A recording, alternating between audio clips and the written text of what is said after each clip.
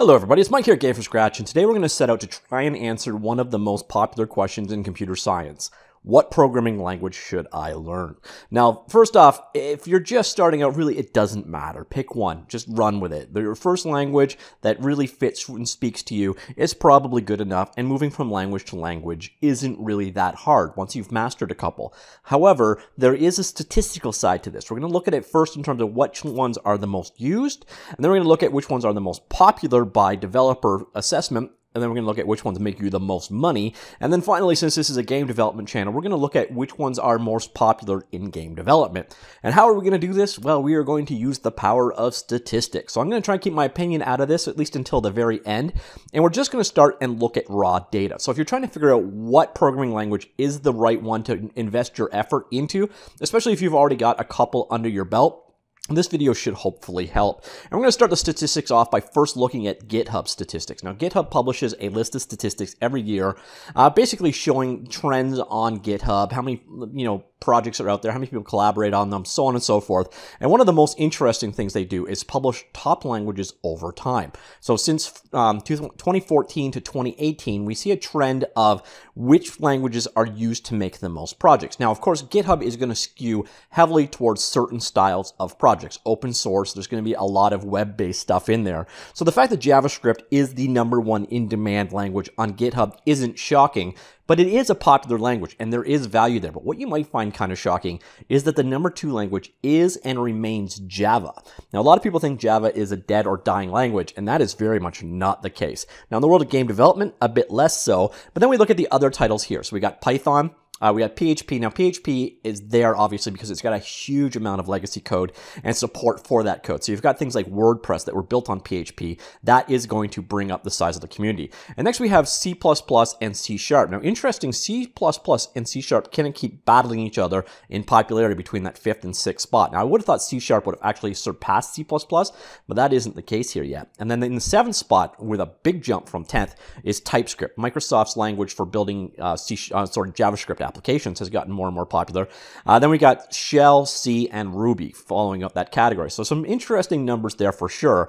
Uh, JavaScript is obviously a good one to learn. Um, Java, Python, C++, and C Sharp are definitely valuable as well, as is apparently TypeScript. So those are for GitHub repositories anyways. Now we're going to look at, um, in terms of another great place for statistics on programming language is Stack Overflow. Now, if you've ever had uh, and the need for help ever, you probably want to Stack Overflow. And each year they do a developer survey. Now, again, these statistics are going to skew towards Stack Overflow users and the type of people that will answer a survey.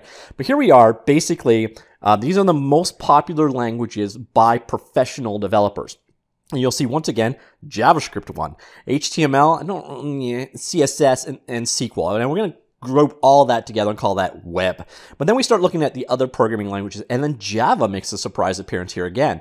Uh, below that, we've got Python, C Sharp, PHP again, uh, C++, C, TypeScript, Ruby, Swift, and Objective C. So the two, um, uh, I guess we could call them. Uh, Apple oriented programming languages are there. And then we get um, assembly coming in next. So we move on from that uh, same category, same site, same survey to the most profitable languages. So this is, again, survey based, but we're seeing F Sharp, um, Microsoft's functional programming language, is the most lucrative to learn, as is OCaml, Clojure, Groovy. But then we're getting into mainstream languages. We've got Perl and Rust, um, kind of filling out near that top category. Erlang and Scala, which are specialized Java-based languages, Go, um, Ruby, and then we're scrolling way down. Like C++ didn't even make the front page. Um, which I find off or wrong. Uh, there are many things you can say about C++ development. Uh, generally, if you are a competent professional programming C++ developer, you're making pretty good money. Even if we just skew it to the US, C++ doesn't make this list. So again, this is user contributed, and I find that a little shocking. Uh, but that's the case. Now we can hear this is an interesting category. This is the programming languages that developers love working with the most. So you'll notice JavaScript is no longer on the top. What we've got now is Rust. Rust is the most popular language, and I believe this is for a couple years running now, uh, of developers on Stack Overflow. So the language they want to work with the most is Rust. Now, another one that's gaining in popularity like TypeScript is Kotlin. Now, Kotlin was created by uh, JetBrains, the maker behind, or NetBrains, JetBrains. I always mix those two up. Anyways, the people that make IntelliJ and all those other tools, uh, they make Kotlin, which is a JVM-based language, and it's growing in popularity, and apparently developers like using it. Behind that, we've got Python, TypeScript, Go, Swift, JavaScript, C Sharp, F Sharp, uh, Clojure, uh, Shell script, Scala, um, Scala. I mean, again, C++ isn't making the initial list. It's down here at 46.7%, which I find a little shocking, to be honest. Uh, Ruby also down there. Ruby used to be really popular. Uh, Java at 50% is kind of middling in the pack. Uh, now, again, these are the most loved by developers. Interestingly enough, the most hated by developers is a lot of legacy languages like VB6, COBOL, um, CoffeeScript, which I find a little shocking. That's a um, a language built over top of JavaScript, just like TypeScript is. Uh, VB.NET, VBA, MATLAB, Assembly. Um, C is in there at 62%, and C++ is there at 53%. Which, uh, again, I, am a little shocked at those uh, responses. Then we get into wanted. I'm not entirely certain what wanted means, to be honest, so I'll just uh, we'll skip over that category. That that is not in demand, and we're going to look at in demand in a second. So those were all Stack Overflow jobs. Now we're actually looking at IT Jobs Watch. Now this is a look at jobs available in the UK. So it's one market very specifically, but it does show us a couple of interesting things. First off, the number of actual jobs out there by that technology, and then the salary attached to them. And we're going to ignore categories. So agile, that's like a bunch of web technologies together. Ditto for developer and finance and SQL. Those mean nothing. But you'll see here, one of the top ones here is JavaScript, which is kind of shocking. There's a lot of jobs available. Now, this is supposed to be sorted by this category, and it isn't. So take, you'll have to look at the actual numbers attached. So you see um, C-sharp jobs, there's 3,400. Java jobs, again, Java is doing shockingly well, and Java developers are making 10,000 pounds, so like $15,000 more than C Sharp developers are, at least according to these job listings in the UK. Again, we have .NET developers. We have a lot of overlap with C Sharp, but you'll see there are a ton of jobs for C Sharp and .NET out there. Um, we get down here, HTML, 1,500. The pay goes quite a ways down. Python jobs, again, are quite well paid. Um, and we have, where do we finally get to C or C++ on this list? Let's just keep going till we find it. Uh, okay, maybe I will. Oh, C++, here we go. So 52,500 pounds and 1,100 jobs there. So pretty pretty lucrative. Now, unfortunately, here's where this starts falling apart. C-sharp developer versus C-sharp, and these numbers make no sense. So again, take this whole IT jobs watch thing with a grain of salt. The granularity isn't there, but this is a gestate of all of the jobs available in the UK. So at least it does give you some um, idea of what is in demand and what is being paid, even if it's not the most accurate thing we've got to look at. So next up, we're going to look specifically at game development jobs. Now, what I've done is I'm on Indeed.job, Indeed.com, and I'm looking for specific terms. Now, this again is really not sciency, but what it is going to show us is if I search for the term game programming, we get 6,800 jobs, as you can see right there. And now what I've done is I've done a pre-search for a number of popular technologies, so we can get an idea of those 6,800 jobs that show up, such as this physics engineer for Nintendo and so on. Uh, how many of them are 2K games? So these are these are companies you've actually heard of that are searching for um, game programming. We're going to look at how that breaks down by language. So we got 6,800 jobs listed as the total pool. So if I search for C sharp, we're going to see we have 863 C sharp jobs available. Now, C, we're going to jump up to 1,500 jobs, which is pretty impressive, but I think you're going to find a couple things shocking when I keep doing this search.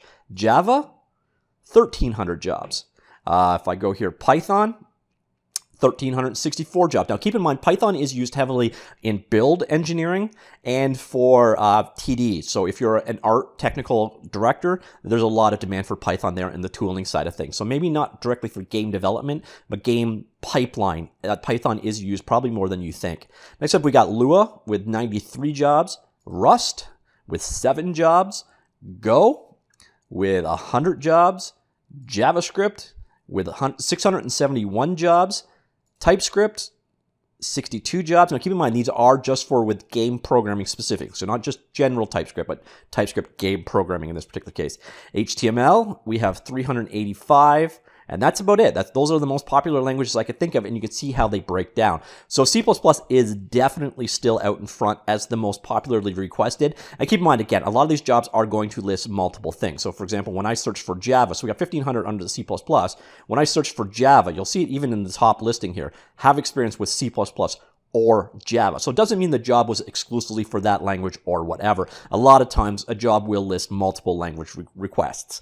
But it does give you an idea of what the languages out there are for game programming, and it's probably more broad than it has ever been in history. Now, it used to be quite consistently uh, that it was C++ was always asked for, even if you didn't actually program in C++. And you're starting to see that's changing a little bit. Now, one I didn't search for yet that I guess I should, and I don't think this will be very high, I'm curious if there's any Haxe. Yeah, we got four Haxe jobs out there, um, and those are those are things that were didn't even exist before. So, and I guess I should be thorough. We got Swift has 78 jobs, and I won't search for Objective C because I'm going to let my opinion in. Objective C should die. Okay, so that is kind of the breakdown of the game-related jobs that are available. Now, if you're kind of interested in learning more about uh, what engines are available for what programming languages. So if you, you're not necessarily looking about jobs, but instead you're looking at the end result, I've got a series for you, and I'll actually just link that instead of going into it in detail. But basically, I broke down um, the most popular game engines per programming language. So, for example, if you're looking at C Sharp development, C Sharp is used for uh, as a secondary language in the Godot game engine, as a primary language in CryEngine 5, as a primary language in Unity, obviously. Um, and so on. So if you go into the C sharp category, you'll see what the C sharp based programming language did over C++. Your primary is something like um, the Unity game engine, where but you've got a whole lot of secondaries or you've got a lot of frameworks that apply there. And I've done this for Python and Java as well. So if you're interested in seeing what languages are used for what um, game engines. I've got you covered there, and I will link that down below. But that's where I'm going to end things. Um, that is the look at uh, the various different options that you've got there for learning a programming language. Now, again, to go back to where I started things off, if you want to learn a language just out of curiosity, learn a language out of that. But if you're looking for some kind of a metric to just figure out what languages in 2019 are most in demand, hopefully you saw something on this list that um, you know, maybe will help you determine one way or another where you should invest your time.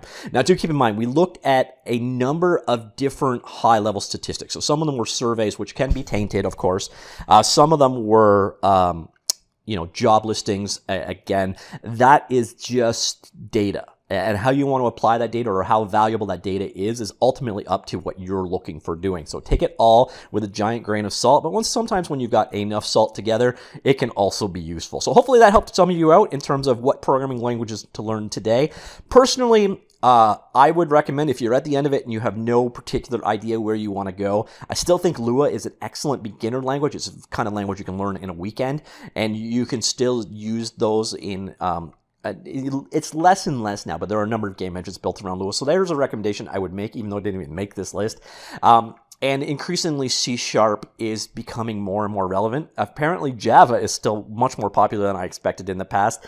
Uh, but if you can't figure out where you want to go in game development, you're going to find a lot of game engines, because of Unity's lead, are going down the C Sharp route. So you're not going to go wrong by learning C Sharp. But as we saw from this example, C is still quite relevant in the world of game development. Uh, a little bit less so in the world of general game or general development, but in the world of game development, C, C is definitely worth learning learning. I would be sure, though, if you want to learn C++ in this day and age, uh, make sure you learn modern C++. Learn C++ 14. Maybe not 17. There's a lot of argument over the future of C++, but C++ 14 versus, say, C++ 03 are massively different languages. So make sure that if you're going to learn it, learn the modern uh, implementation of it. That, that's the best advice I can give there. Now, give you curious: is there a language on there that shocked you in terms of how popular it was, or um, are you shocked at the, the unpopularity of certain languages? And what would you personally re- recommend as someone to learn as their next language if you were just looking uh, at face value? There's also there's another popular there's a number of popular languages out there that would be of just interest to learn. I'm going to learn Rust because hey, it's it's not on my list and uh, I'm interested in it. Not because I think it's going to take over the world. I just I just find it as an interesting development of you know game development related languages. So your opinion down below in the comments, and let's please keep this one civil. I know that uh, programming languages can be a bit of a touchy subject, and it doesn't have to be. Again, this entire argument or this entire conversation has been stat driven, and hopefully we can keep the conversation just as logic driven as much as possible. All right, that's it for now. I will talk to you all later. Goodbye.